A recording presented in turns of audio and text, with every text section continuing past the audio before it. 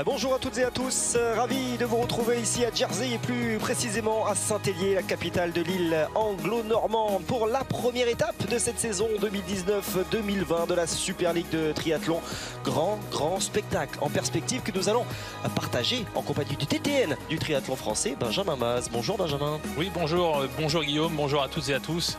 Euh, de retour sur la Super League, effectivement, à Jersey, où les triathlètes commencent à bien connaître ce parcours, même s'il y a eu quelques petites modifications. Vous le voyez notamment sur la partie vélo avec ce petit virage sur la gauche euh, qui est fait là où on voit ces, deux mains qui, applaudissent fort, où les, spectateurs pourront voir les, la fan zone. les triathlètes, la fan zone, exactement.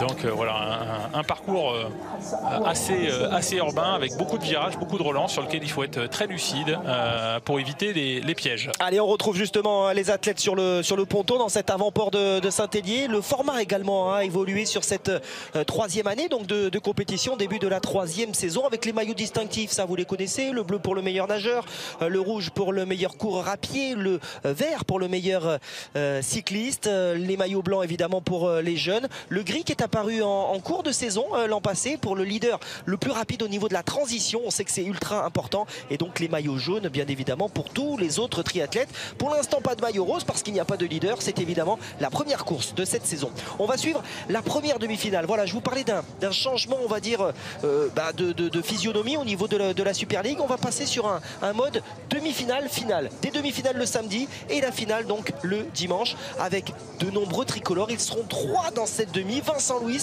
Léo Bergère que l'on avait l'habitude de, retrouver euh, déjà les années précédentes. Et puis Pierre Lecor euh, qui euh, est allé notamment chercher sa, qualification du côté de, Bali. Voilà, on en aura six en tout. Hein. Oui, tout à fait. Un gros contingent français avec là dans cette demi-finale ne serait-ce que quatre titres de champion du monde, trois pour Mario Mola et un pour Vincent Louis qui, est sur euh, la gauche, euh, là sur la droite de l'écran, qui est parti euh, tout à gauche. Donc le nouveau champion du monde, Vincent Louis, depuis sa cinquième place à Lausanne, il est, il est arrivé juste devant son compère, son, son, camarade d'entraînement, Mario Mola, le triple champion du monde. Là, juste devant nous, on a Vilaccia, ouais, on peut, le portugais. On peut ajouter effectivement hein, dans cette demi ultra relevée Tyler Mislachuk qui a tout simplement remporté l'épreuve pré-olympique de, Tokyo. Mathieu Sharp également, hein, l'autre Canadien, Martin Vandril, le, le, gros rouleur, le gros rouleur belge, le buffle Christian Blumenfeld qui est encore et qui enfin, j'allais dire plutôt, parvenu à aller euh, remporter une WTS, et pas n'importe laquelle, la grande finale de, Lausanne. Euh, Villaga, vous nous en parliez, le, portugais euh, très bon hein, sur l'épreuve espoir sur les, U23 à, Lausanne. Polianski, toujours un gros nageur au niveau, au niveau russe. Friedlands, Arichita, Turner et Lewis, les deux derniers cités sont les locaux de l'étape. Ça devrait être un petit peu plus compliqué pour eux quand même. Et vous voyez que ça part très très vite. Là, Vincent Louis il a décidé de prendre les choses en main. Hein. C'est ce qu'il évoquait juste avant, avant sa course, de pouvoir être vraiment euh, leader, d'imprimer son propre rythme. Euh, vous voyez la grosse différence déjà après, euh, après à peine une centaine de mètres. Là, on va prendre cette première bouée sur la gauche. C'est là où il va déjà y avoir un petit peu de mouvement. Vincent, qui devrait passer en tête, ne devrait pas avoir trop de soucis, mais derrière, ça risque de frotter. Vous voyez voilà, les deux Canadiens là sur le côté gauche, alors que là on a voilà, Pierre Lecor qui percute la caméra. Il est parti tout droit, le Pierre 11. C'est ça, oui. Donc euh, là, il se remet un petit peu, on le voit sur le bas de l'écran là, qui, est en train de, frotter. Alors que vous voyez déjà une bonne petite euh, différence. Il y a déjà 7-8 secondes entre la tête de course et l'arrière. Donc euh, voilà, là, Vincent, il a, il a fait un, départ très, très dynamique. Alors au niveau du, format, donc 300 mètres de natation hein, dans cet avant-port de, Saint-Hélier, 4 km de vélo et 1 km 6 de course à pied. Les athlètes auront à le parcourir deux fois. Aujourd'hui, donc, ce sera un, double enduro pour l'épreuve qualificative, la demi-finale. Et derrière, en finale, si le temps le permet, vous allez le, comprendre d'ici quelques, minutes, eh bien, les athlètes auront à parcourir trois fois donc ce triptyque on, revient un petit peu à des basiques entre guillemets hein, Benjamin. Euh, on ne mixe plus autant que cela les épreuves. On, garde on va dire la, logique euh, sportive entre guillemets. Natation vélo course à pied mais on, les additionne quoi. Exactement, c'est ce qu'ils appellent euh, l'enduro. Alors que là on voit Vincent qui, est, euh, qui, peut gérer à sa main la partie natation. Euh, vous voyez une nage très, très musculeuse tout, en, tout en puissance de, Vincent Louis. Effectivement on va enchaîner ces deux mini triathlons les uns après les autres.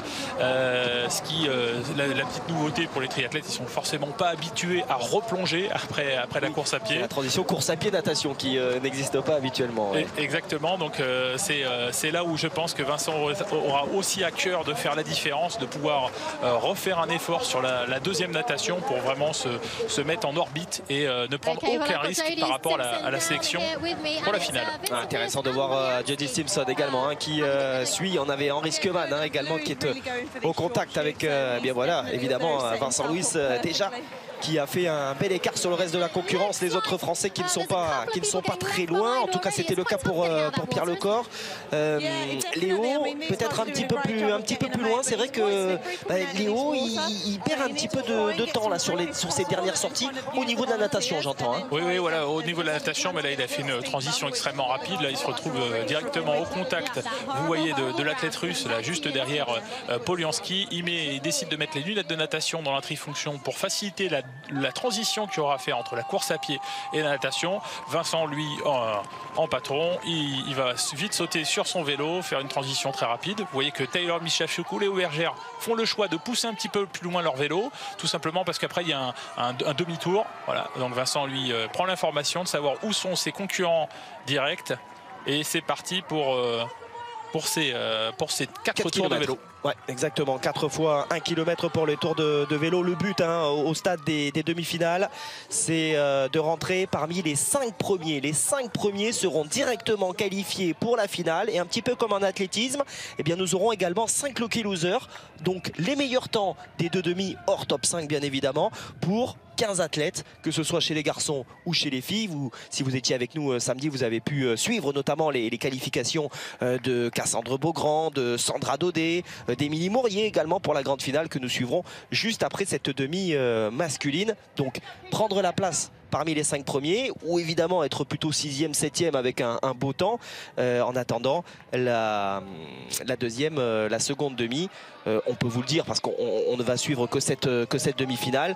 Hayden Wide, le jeune néo-zélandais, dans l'autre demi, nous a gratifié d'un temps stratosphérique. Hein, et elle est allée très vite, hein, cette, euh, cette deuxième demi. Ah, ah, il a été impressionnant, hein, euh, ce, jeune garçon qui est encore U23, né en, 1997. Eh il, est, euh, il a été impressionnant cette saison d'ailleurs, avec un, petit peu d'inconstance, mais troisième sur le test event olympique, qui était eh l'une des épreuves les, les, plus importantes. Il avait bien commencé la saison.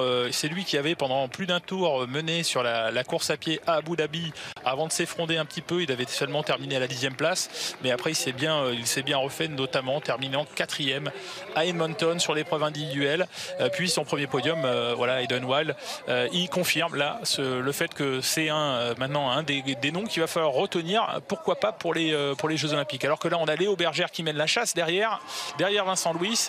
Alors il n'y a pas de stratégie, il n'y a pas de stratégie d'équipe, hein. bien entendu les, athlètes français s'entendent parfaitement ensemble, mais là on voit bien qu'il y a juste derrière Mario Mola, excusez du peu, triple champion du monde, euh, voilà 2016, 2017, 2018, qui est connu pour ses euh, qualités euh, pédestres. Donc si on peut éventuellement poser avec quelques secondes d'avance sur lui avant la course à pied, ça sera pas plus mal. C'est pas plus mal. Donc Vincent Louis, hein, donc à l'entame de ce deuxième tour aux, commandes, vous voyez un 5 petites secondes d'avance sur ce groupe de chasse emmené par Léo Bergère, Igor Polianski est bien dans la roue du tricolore, Tyler Mislachuk et Mathieu Sharp, les deux Canadiens sont là aux avant-postes. Allez, il faut arriver à, serrer les, les chaussures, c'est pas évident hein, parce que c'est vraiment du, vir-vir. Là, il n'y a pas de grande, de grande ligne droite où on peut se, poser et mettre la, justement la position de, recherche de vitesse. Hein. tout à fait, ça, le prolongateur, il n'est pas nécessaire sur cette épreuve. Alors qu'on voit que euh, Pierre Lecor est passé seulement en 12e position à 19 secondes. On, l'a vu tout à l'heure euh, pendant qu'on était en train d'évoquer Vincent. Il a une transition plus, plus difficile, du mal à mettre son, à mettre son pied.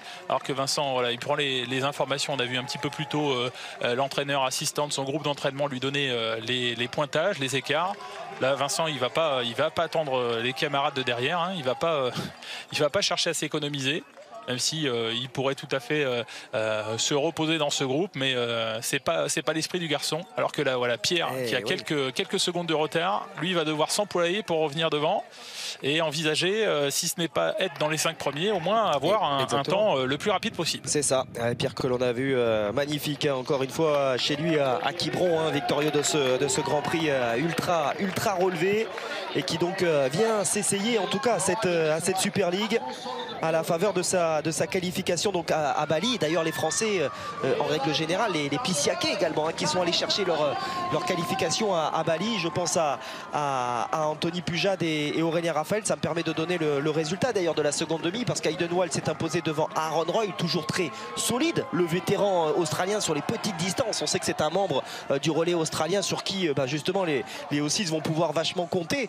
lors de l'épreuve olympique l'an prochain. Anthony Pujade, superbe troisième de la demi-finale, donc qualifié pour, euh, la finale. Euh, Jonathan Brony qui passe, on, l'attendait, quatrième. Gustav Iden, le champion du monde du 70.3 à Nice qui va passer. Et donc en balotage favorable, euh, Ben Canout, Constantin Doherty, l'Irlandais, Jonas Schoenburg, voilà, peut-être huitième qui pourrait éventuellement passer.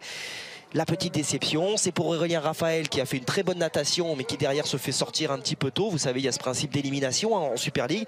Et puis un Dorian Coninx qui a, comme on dit dans le jargon, bâché lui aussi assez, euh, assez rapidement. c'est un jour sans pour, euh, pour Dorian Coninx. C'est sûr qu'il va falloir corriger euh, certaines choses à l'approche de, de la saison 2020 et, avant ça l'épreuve de, Malte le mois prochain. Mais voilà, il y, a de, il y a de quoi travailler pour pouvoir gagner un, peu plus en, consistance et, effacer tous ces, tous ces abandons c'est contre-performance. La constance, il y en a un en tout cas qui, qui en a tout au long de, la saison, c'est bien Vincent Louis hein, qui, euh, encore une fois, le groupe de chasse euh, ne parvient pas à reprendre, euh, à reprendre du temps. On a toujours ces, ces 5-6 secondes d'avance et là, ça pilote. Hein. vous voyez le, travail là, du haut du corps pour pouvoir absorber ces mouvements de terrain et éviter toute perte d'adhérence. Euh, on a de la chance d'avoir une route, euh, une route sèche. Hein. on n'est pas comme. Euh, pour l'instant. on va pas se le cacher. Ce sera un peu plus compliqué en finale, très certainement. Quelques kilomètres plus au nord, dans le Yorkshire, les championnats du monde ah de cyclisme se, déroulent sous des trompes d'eau. Alors que voilà, on, voit que Vincent s'emploie vraiment pour pouvoir faire la, différence. Là, il profite de, ça pour se faire vraiment une, grosse séance en pleine compétition. Alors que là, il y a Sylvain Friedlands qui mène la, qui mène la chasse avec dans sa roue Léo Bergère. Léo qui va, toujours euh, bien savoir se positionner dans les groupes. Voilà, on a, euh, on a ensuite euh, Martin Van Riel l'athlète belge qui lui aussi fait partie du groupe d'entraînement de, Vincent et de Mario Mola, qui est, connu pour ses qualités. Il a, eu ces dernières années, euh, il a joué de malchance sur certaines épreuves. Alors quand on accumule comme ça autant de malchance, euh, finalement, euh, ça illustre aussi bah, notamment des qualités de pilotage qui sont peut-être un petit peu trop brutales. C'est un garçon qui avait déraillé sur la grande finale à Gold Coast l'année dernière, alors qu'il était dans le groupe de tête sur l'épreuve qu'avait remporté Vincent, Louis après une petite, pourtant une petite chute à vélo. Et là, vous voyez qu'il est, il est, euh, il est très rapide dans ce, dans ce demi-tour. Et Martin Vandril, hein, quand même, cette année, voilà, vous parliez de sa, de sa malchance qu'il a, a suivi. Cette année, cinquième mondial, hein, Martin Vandril. Euh, neuvième de la, de la grande finale. Le podium à, à Montréal, septième à Leeds, huitième à Yokohama, neuvième à Hambourg. Il avait terminé sixième hein, de l'épreuve olympique à, Rio en, 2016. Donc c'est vrai que c'est un garçon sur qui, euh, sur qui il, va vraiment falloir, il va vraiment falloir compter sur l'échéance olympique de, de l'an prochain à Tokyo, ça c'est une, une certitude. il avait été pris dans une chute sur le test event olympique avec Christian Blumenfeld. Ah c'est là où euh, il était euh, bien parti pour faire une, jolie performance et finalement euh, du coup il se classe seulement 36e. voilà, c'était un petit peu un, goût, ça lui avait laissé une certaine amertume. On avait vu l'autre belge aussi, hein, Yelegens nous, nous, faire un beau, un beau festival au début de, de la course à pied avant de avant d'exploser en vol. Et voilà, on est sur le dernier tour vélo. Donc vous voyez Vincent qui euh, dessert ses chaussures, qui va euh, essayer de, faire la transition la plus rapide possible et surtout de, du coup de positionner déjà son casque euh, pour, la prochaine, pour la, prochaine épreuve parce qu'il va devoir remonter sur son vélo. Donc c'est pour ça que vous le voyez prendre son vélo et le mettre en marche arrière. Il pose son casque de manière très propre pour pouvoir l'enfiler le plus facilement possible. La fois suivante, c'est ce qu'explique Jody Stimson. Et c'est parti. Voilà, il a, il a ses 7-8 secondes d'avance. Léo, c'est pareil. C'est parti pour lui pour faire une, une, belle transition, bien, bien, bien mettre son vélo pour faciliter le, la vie après. Et voilà, c'est parti pour, euh, pour Léo Bergère.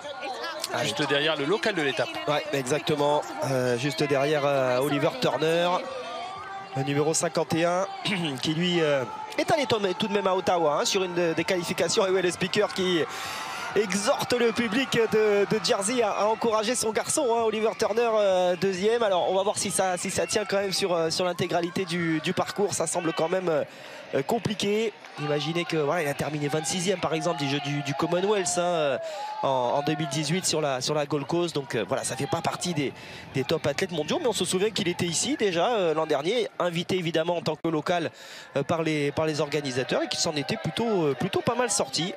Pierre Lecor pour le moment 12e à 13 secondes de Tyler Michafchuk en, 12e position. Donc Pierre a été euh, piégé par cette, euh, par cette transition. Pour le moment Léo Bergère en bonne position dans le, groupe de, chasse alors que Vincent lui euh, voilà, il lâche pas d'effort. Et en seconde, il hein, faut savoir qu'il était sur le, premier tour avec seulement 4 à 5 secondes d'avance. Donc il a roulé plus vite que le groupe de chasse. Allez, petit, Petite avancée dans cette euh, demi-finale avec cette euh, fin de, natation. Et euh, Vincent Louis qui a toujours de l'avance. Mais vous le voyez, vous parliez de cette dizaine de secondes. Eh ben, Martine Vandril est parvenu en tout cas à consentir un, effort. On imagine que c'est un, un, début d'effort de la part de Martine Vandril et que c'est bien sur sa machine. On voit d'ailleurs la, la, relance, euh, vous parliez de, risque pris peut-être au-delà des 100% de risque pour Martine Vandril. Euh, la seconde partie d'effort pour euh, revenir sur, sur Vincent, elle est bien maintenant pour Martine Vandril. Ah oui, c'est sur la machine, c'est sur le vélo qu'il doit, il doit pouvoir revenir. On le connaît, là on sait qu'il va faire un gros effort pour pouvoir revenir sur Vincent Louis. Hein. ils partagent tous les deux leur, le, même groupe d'entraînement. Alors Vincent il va pas l'attendre. là on voit qu'il, comme on sait, comme on dit dans le cyclisme, dans le jargon, il visse à vélo. Euh, alors qu'on a Pierre Lecor qui a fait un bel effort sur la partie euh, natation parce qu'il est revenu en sixième position. C'est lui qui mène euh, le second groupe de chasse. Alors qu'on a voilà, Christian Blumenfeld derrière avec Léo Bergère. Donc encore une fois, les Français sont plutôt bien partis là. Léo Bergère avec Christian Blumenfeld, c'est sûr qu'à vélo, là, ça va, ils, vont, ils devraient bien s'entendre pour pouvoir éventuellement grappiller quelques secondes. Mais je pense que ça sera insuffisant pour revenir sur la, sur la tête de course sur Vincent Louis, là, qui est pour le moment impérial. Oh, quelle relance, quelle relance. Alors évidemment, hein, pour Vincent Louis, il n'y aura pas de, soucis de qualification, semble-t-il, hein, sauf euh, accident matériel, parce que on va, hein, croiser les doigts. Singapour, euh, lors de la finale de, l'an dernier, il y avait eu cette, euh, cette, crevaison qui avait failli donner la victoire à, Henri Skeban, bien, involontairement. alors face à Martine Vandril, on pourrait se dire, bah, il n'y a pas une, obligation de victoire, sauf que la première place, ça n'est pas seulement honorifique parce qu'il n'y aura pas de points hein, sur la demi. Les points ne seront que pour le dimanche, que pour la grande finale. Mais il y a ce fameux short shoot, ce fameux raccourci, shortcut en, anglais, euh, qui bah, vous permet de venir grappiller comme ça 5-6 euh, secondes. Et vu les écarts sur la ligne d'arrivée, notamment et très certainement à l'occasion de, la finale, et eh ben, ce, petit, ce petit raccourci qui ne sera donné donc qu'aux deux vainqueurs euh, des, des, demi, Hayden Wild et le vainqueur de cette, de cette demi peut s'avérer euh, décisif. Et nul doute que le, que le, stratège Vincent Louis va vouloir euh, profiter de, cet avantage. Euh, c'est sûr qu'il est loin d'être anodin cet avantage, alors que vous voyez qu'il s'emploie toujours fort. Et la Martienne fait un, fait un gros effort eh, pour, revenir, sur Vincent. Et pas, pas impossible qu'il revienne dessus avant, la, avant la, fin du, la fin du vélo. Là, on est que sur le deuxième tour mais l'écart se maintient derrière. Pierre Lecor toujours en tête du groupe de chasse ça devrait être bon pour avoir euh, euh, au moins deux Français dans les cinq premiers. Peut-être euh, Pierre Lecor à l'avantage d'un chrono. Il sait que là, il doit se battre contre le chrono, puisqu'il y a Hayden Wild et ses camarades qui ont fait un, sacré chrono. Ah, c'est allé très très vite. Hein. On vous le dit et, redit. Imaginez, ça a couru en 35-34. Alors, ça va pas vous dire parce que c'est une, une distance un petit peu bâtarde, hein, entre guillemets, ce double, ce double enduro. Mais on va compter que Ben Canout, le sixième, est en 36-21. Voilà, si on le garde à l'esprit. 36-21, 36-23 pour Constantine Doherty. Ça peut donner un petit peu l'idée de ce que doit réaliser Pierre Lecor pour se qualifier au, temps s'il ne parvient pas à revenir sur ces trois garçons. Parce que c'est vrai qu'il y a ce groupe avec Martine Vandril, ce duo. Et derrière, donc, il y a ce trio avec quand même, effectivement, excusez du peu, Christian Blumenfeld, le, le, gagnant de la grande finale, euh, Mario Mola, le triple champion du monde, et notre Léo Bergère qui est quand même ultra solide hein, dans, le, top 10 mondial à la fin de, de cette saison encore. C'est sûr que là, pour aller chercher une des cinq premières places, ça va être compliqué. D'autant plus que l'écart semble encore grandir. Oui, c'est sûr que euh, Léo a passé un certain cap cette année. Hein. Il a terminé huitième du classement général final de la WTS euh, qui mixe des formats sprint, 750 mètres de natation, 20 km à vélo, 5 km à pied et des formats olympiques, 1500 mètres de natation, 40 km à vélo et 10 km à pied.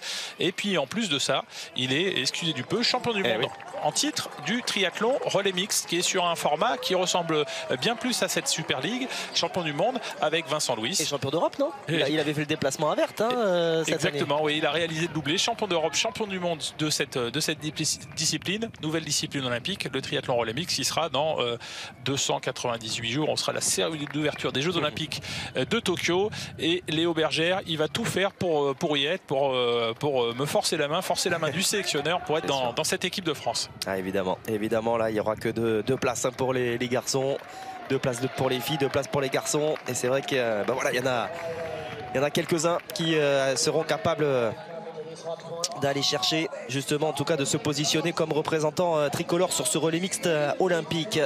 Évidemment, celui-là en fait partie, que ce soit à titre individuel ou, collectif. Il a, il a annoncé, ce serait beau d'être le premier double champion olympique. Le chemin est encore long, mais c'est vrai qu'il construit, il travaille pour cela en témoigne euh, bah, ce, fameux, ce fameux titre de champion du monde. Le short shoot, vous le voyez, hein, ce sont ce, petit passage là qui, euh, bah, vous permet donc de, couper un petit peu avant, de ne pas aller faire le, demi-tour tout au bout. Et finalement, vous avez euh, voilà, une dizaine de mètres à l'aller, une dizaine de mètres au retour. Et plus euh, la vitesse que vous perdez euh, sur le demi-tour, ça fait vite euh, ouais, 5 secondes. Quoi. c'est certain que ça sera un avantage non négligeable pour, pour les deux vainqueurs de l'UBI-finale, Hayden Wild et on le souhaite, Vincent Louis. il est passé derrière. Il est passé derrière, il profite de l'aspiration derrière Martin Van Riel. Il sait que voilà, Martin, c'est vraiment un, un, guerrier sur la partie, la partie vélo fait partie des, tout meilleurs sur cette, euh, sur cette partie-là. Ils, sont, ils se connaissent bien. C'est une roue qui, les, qui sont euh, des roues qui sont habituées à ah prendre, celle de Vincent Louis ou celle de, de Martin Van Riel.